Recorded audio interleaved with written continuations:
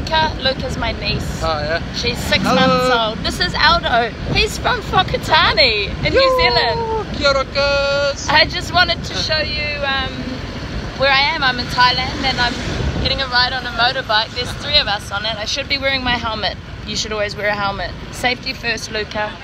And um, this is how you get around in Thailand. It's pretty efficient and cheap.